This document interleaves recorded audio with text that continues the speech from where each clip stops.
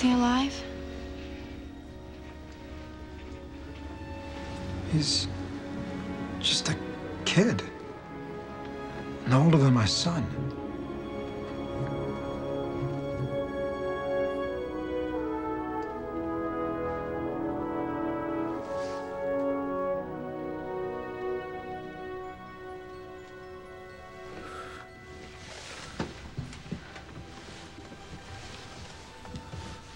It's all right.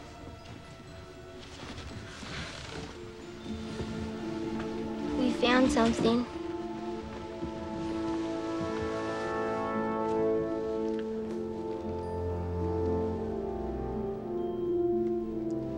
We won't tell nobody.